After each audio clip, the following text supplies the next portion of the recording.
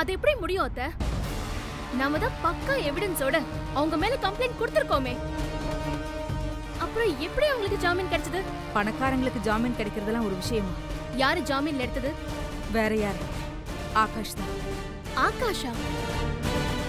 அவருக்கு கொஞ்சம் கூட அறிவே இல்லையா? ஆகாஷ திட்டாதம்மா. பாவம் அவன் ஒரு அப்பாவி. அப்பாவி இல்ல அத்த. சரியான முட்டாள். அதனால்தான் அவங்க பாட்டி இவ்ளோ பெரிய கொடுமை பண்ணிருக்காங்கன்னு தெரிஞ்சும் கூட கொஞ்சமும் மனசாட்சியே இல்லாம அவங்கள போய் ஜாமீன்ல எடுத்திருக்காரு. யூஸ்லெஸ் ஃபெல்லோ விடுமா அவன் என்ன பண்ணுவான்? ஆயிரம் தான் இருந்தாலும் அந்த ஆண்டாள் தானே அவனை வளர்த்த பாட்டான் அந்த பாசத்துல அவங்கள ஜாமீன்ல எடுத்துட்டான். ஆனா என்ன இதுக்கப்புறமாவது அந்த ஆண்டாளுக்கு கொஞ்சம் புத்தி வந்திருக்கும்னு பார்த்தேன். இல்லவே இல்லை தென்றல். என்ன சொல்றீங்க அத்த? திரும்பவும் அந்த ஆண்டாள் பாட்டி உங்ககிட்ட ஏதாவது பிரச்சனை பண்ணாங்களா? பிரச்சனைன்னு சொல்ல முடியாது. ஆனா ஜாமீன்ல வந்த கொஞ்ச நேரத்திலேயே என்னை தேடி வந்து வழக்கம் போல என்கிட்ட என்னெல்லாம் உன்னால ஒன்றும் செய்ய முடியாது? ஏன்னா என்கிட்ட பணம் இருக்கு. அந்த பணத்தை வச்சு உன்னையும் பையனையும் அந்த தென்றலையும் என்னால என்ன வேணாலும் செய்ய முடியும்?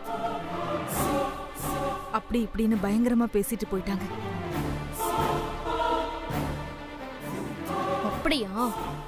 அவங்களோட திமிர நான் இப்பவே அடக்கி காட்டுறேன். தென்றல் அவசரப்படாத. முதல்ல சித்து நல்லபடியா குணமாகி கண்ணு முழிக்கிட்டான் அதுக்கப்புறமா அந்த ஆண்டாளை நம்ம பாத்துக்கலாம் அவரை நீங்க அப்சர்வேஷன்லயே வைங்க சரியா? டாக்டர் சித்து கிட்ட ஏதாவது இம்ப்ரூவ்மெண்ட் தெரியுதா? இல்லம்மா ஒரு இம்ப்ரூவ்மெண்ட்டும் தெரியல.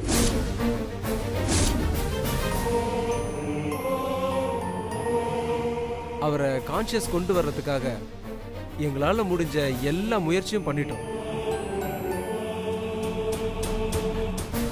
எந்த யூஸ்மே இல்லை.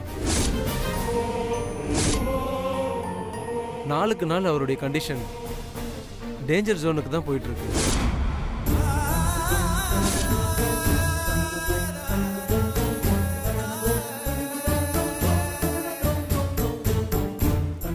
உயிர் பிழைக்கணும்னு உங்களை மாதிரியே நானும் கடவுளை வேண்டிகிட்டு தான் இருக்கேன். பார்ப்போம் கடவுள் தான் அவரை காப்பாற்றணும்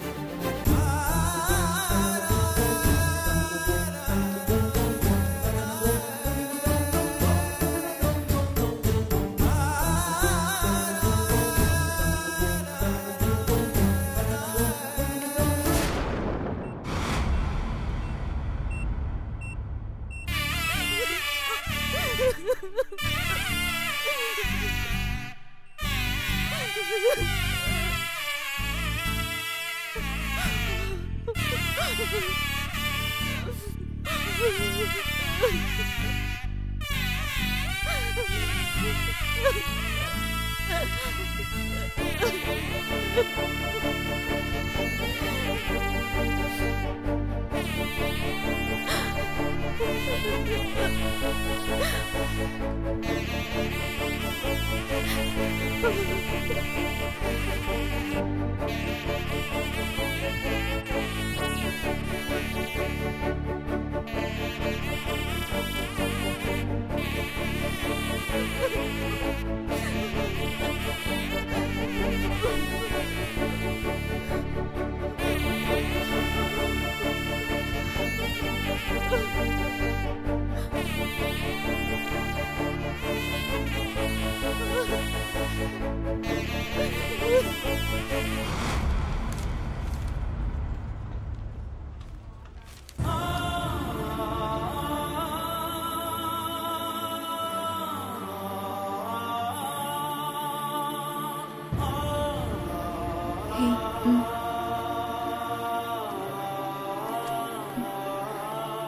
தென்றல் ஷோக்கு வர டைம் ஆயிடுச்சு. வராம இருந்துருவியோன்னு பயந்துட்டேன். உனக்கு கால் பண்ணாலும் லைன் போல. நல்ல வேளை. சரி சீக்கிரமா முடிச்சுட்டு வந்துரு தென்றல் சித்து பத்தி யோசிக்கிறியா? ம். சீக்கிரமே சரியாயிடும். சரி இந்த சுச்சுவேஷன்ல நீ எப்படி ஷோ பண்ணுவ? நான் வேணா வேற ஆள் அரேஞ்ச் பண்ணட்டுமா? இல்ல வேண்டாம். நானே பாத்துக்கிறேன்.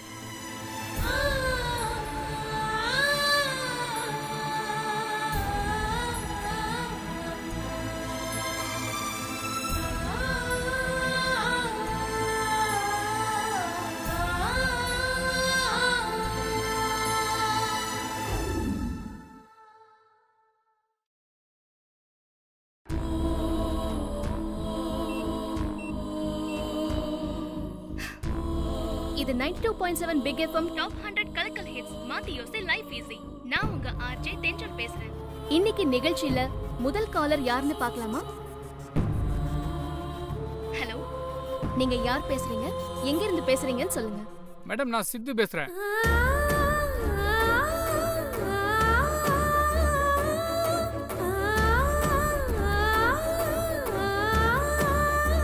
சித்து வா. சித்து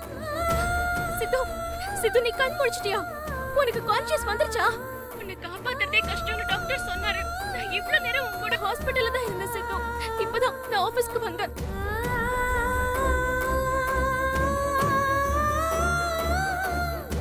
கிளம்பி வந்ததுக்கு அப்புறம் தான் கண் முழிச்சியா? ஐயோ தெரிஞ்சிருந்தா நான் அங்கேயே இருந்திருப்பேனே. சித்து உனக்கு ஒண்ணும் இல்லல்ல. மேடம் மேடம் நீங்க என்ன சொல்றீங்கன்னு எனக்கு புரியல. நான் அம்பத்தூர்ல இருந்து சித்து பேசுறேன் மேடம்.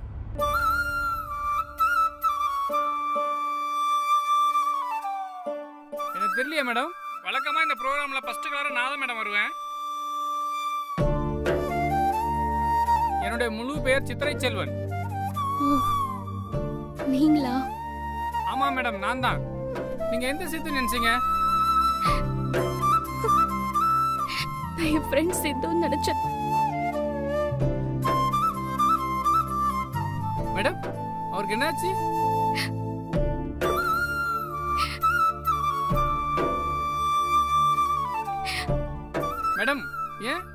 அழுகுறீங்க நான் ரெண்டு நாளைக்கு முன்னாடி என்னோட ஷோல எனக்கும் என் ஃப்ரெண்ட் சித்துவுக்கும் ஆக்சிடென்ட் ஆன விஷயத்தை பத்தி சொன்னேன்ல. ஆமா மேடம் அவரும் உங்க எஃப்எம்ல ஆர்ஜே தானே? அதே சித்து தான். அவர் இப்போ ஹாஸ்பிட்டல்ல படுத்து படுக்கி அப்படியே இருக்காரு. என்ன மேடம் சொல்றீங்க? இத்தனை நாள் ஐயோ இன்னும் கான்சியஸ் வரலையா?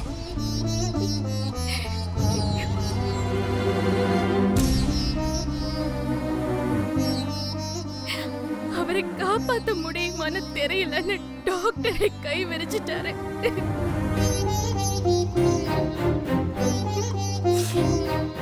அதான் சித்து நினைப்புல ஆபீஸ்க்கு வந்தேன். நீங்க சித்துன்னு சொன்னதும் நான் கன்ஃபியூஸ் ஆயிட்டேன். சாரி எதுக்கு மேடம் இதுக்கெல்லாம் சாரி சித்து சார் உங்களுக்கு மட்டும் முக்கியமானவர் இல்லை. எங்களுக்கும் முக்கியம்தான் மேடம் அவர் சீக்கிரம் குணமாகணும்னு நான் கடவுள்கிட்ட ப்ரே பண்ணிக்கிறேன் மேடம்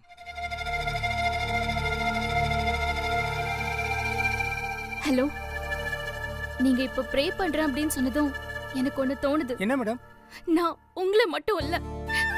இப்ப இந்த நிகழ்ச்சியை கேட்டுட்டு இருக்கிற எல்லாரையுமே கேட்டுக்கிறேன். பாவம் சித்து வாழ வேண்டிய வயசுல சாக கிடக்குறான்.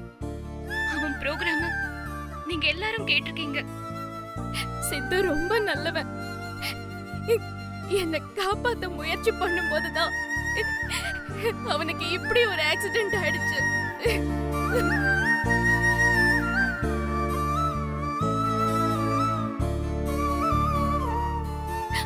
அவன் உங்களோட அண்ணனா தம்பியா மகனா பேரனா? ஃப்ரெண்டா நினைச்சு அவனுக்கு சீக்கிரமா கான்ஷியஸ் வந்து கண் முழிக்கணும்னு எல்லாரும் ஒரு ரெண்டு நிமிஷம் கடவுள் கிட்ட ப்ரே பண்ணுங்க. ப்ளீஸ்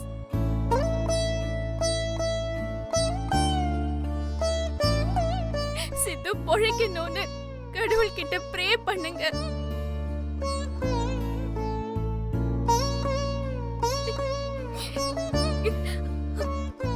மறுபடியும் சித்துவோட வாய்ஸ் நம்ம எஃப்எம்ல கேட்கணும் அவனுக்காக நம்ம எல்லாரும் சேர்ந்து கூட்டு பிரார்த்தனை பண்ணலாம்.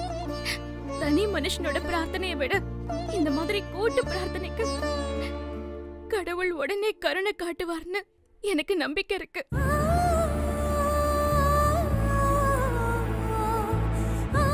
என் ஃப்ரெண்ட் சித்துக்காக எல்லாரும் ப்ரே பண்ணுவீங்களா? ப்ளீஸ் கண்டிப்பா மேடம் இப்பவே நான் ப்ரே பண்றேன்.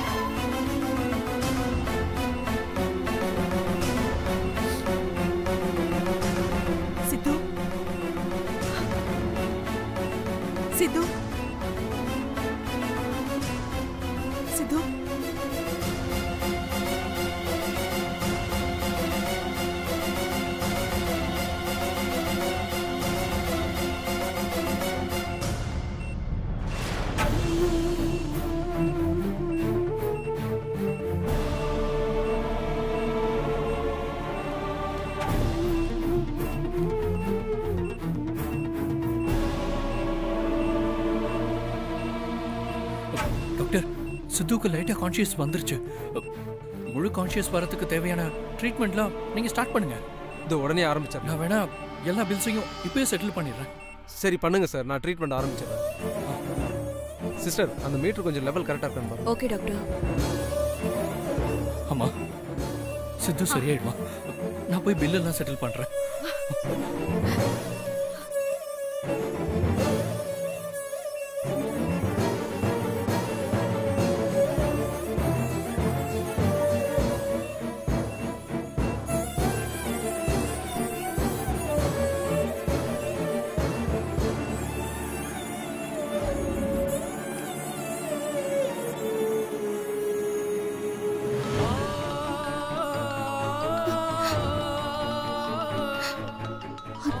பண்றாங்க.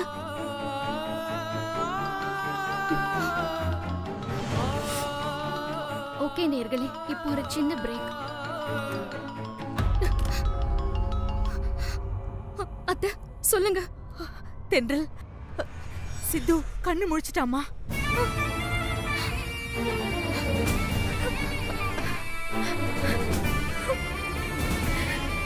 பிரார்த்தனை பண்ணது வீண் போகலமா என் பையன் கண்ணு முழிச்சிட்டான். நீ வந்து பார்த்தனா அவன் ரொம்ப சந்தோஷப்படுவான். சீக்கிரம் கிளம்பி வா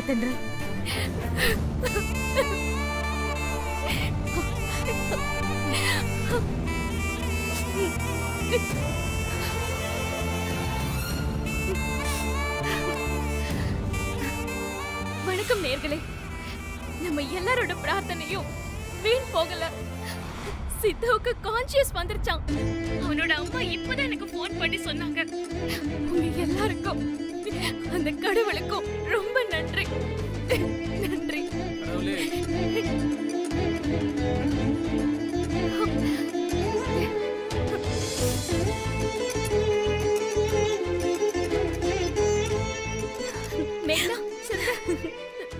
சித்து கண் முழிச்சிட்டானா.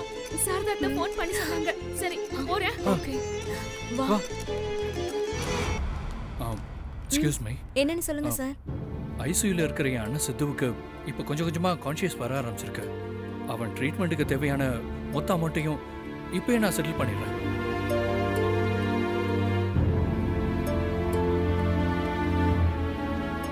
இதுல எவ்வளவு அமௌண்ட் வேணாலும் ஸ்வைப் பண்ணிக்கோங்க. மொத்தத்துல என் அண்ணன் சித்து பொழைக்கணும்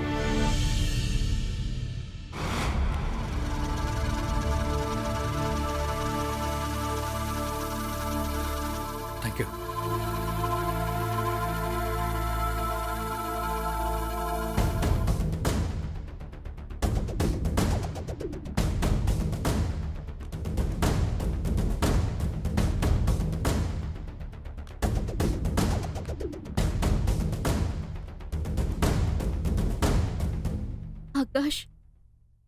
சித்துக்காக நீங்க பிளட் கொடுத்திருக்கீங்க. இப்ப அவன் ட்ரீட்மெண்ட்டுக்கு தேவையான ஃபுல் பணத்தையும் செட்டில் பண்ணிட்டீங்க.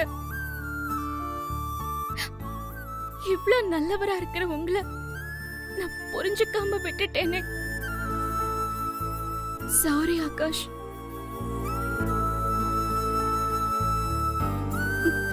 இனி நான் உங்களை போக விட மாட்டேன். உங்களை புரிஞ்சுக்காம உங்க மனச ரொம்ப காயப்படுத்திட்டேன்ல. சாரி ஆகாஷ்.